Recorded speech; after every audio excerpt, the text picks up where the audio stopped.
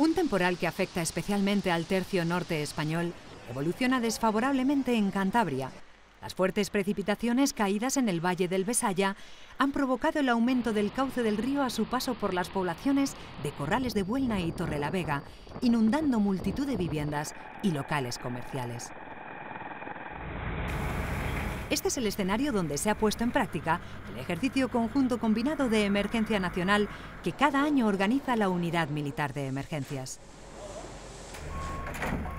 Partiendo del nivel 2 de emergencia, el ejercicio comenzó con el despliegue de los servicios especializados de la Comunidad de Cantabria, que apoyados por militares del 5 Batallón de Intervención en Emergencias y Cruz Roja, pusieron en práctica la búsqueda de las personas desaparecidas y el rescate de otras incomunicadas, de acuerdo con el Plan Especial de Emergencia ante Inundaciones de Cantabria.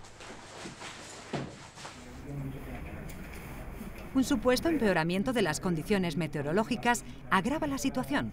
lo que provoca que las autoridades regionales solicitaran al Ministerio del Interior la declaración del nivel 3 de emergencia. Seis desaparecidos y tiene 20, 30 heridos de esa consideración. Declaración por parte del ministro del Interior como emergencia de interés nacional permitirá reforzar el dispositivo para hacer frente a la emergencia, no solo con apoyo de otros medios del Estado, como son las Fuerzas Armadas, sino incluso con la ayuda internacional. Para coordinar este dispositivo, cuya responsabilidad recae en el jefe de la Unidad Militar de Emergencias, se estableció la Dirección Operativa de la Emergencia en el Centro de Operaciones Conjuntas de la UME, en Torrejón de Ardoz,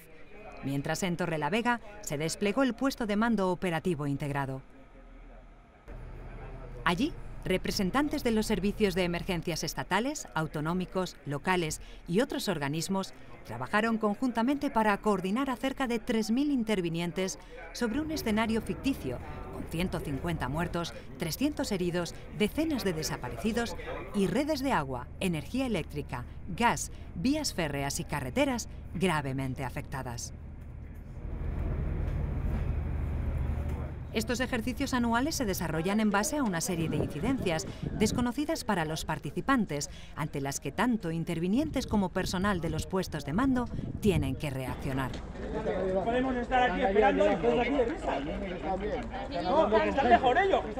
Precisamente uno de los objetivos principales del ejercicio es practicar la capacidad del mando operativo de emergencias de interés nacional, en este caso basado en un escenario de grandes inundaciones. Otro de los objetivos de este ejercicio es poner a prueba la coordinación entre los servicios de emergencia y practicar los procedimientos de intervención en cada una de sus capacidades, como son la búsqueda y rescate, evacuación sanitaria, atención a damnificados, gestión del tráfico e infraestructuras, atención psicosocial, seguridad o protección del patrimonio. Este tipo de ejercicios permiten ir más allá y representar otras graves consecuencias que un incidente así podría provocar, como serían accidentes tecnológicos y medioambientales, donde sea necesario la actuación de equipos especializados en capacidades específicas, como las NRBQ. La atención a víctimas con diferentes discapacidades cuyas necesidades específicas requieren de una preparación especial por parte de los servicios de emergencia ha sido otra de las capacidades que se ha practicado en Cantabria 2017. También se han planeado incidencias paralelas como un supuesto siniestro en un buque que navegando en las proximidades de Suances requiere de la actuación conjunta entre salvamento marítimo y hume ante el riesgo de producirse un accidente químico. Como novedad, Cantabria 2017 ha contado por primera vez con la participación del Mando Conjunto de Ciberdefensa, cuya misión ha sido provocar incidencias informáticas que podrían afectar a la capacidad de mando y control de la emergencia.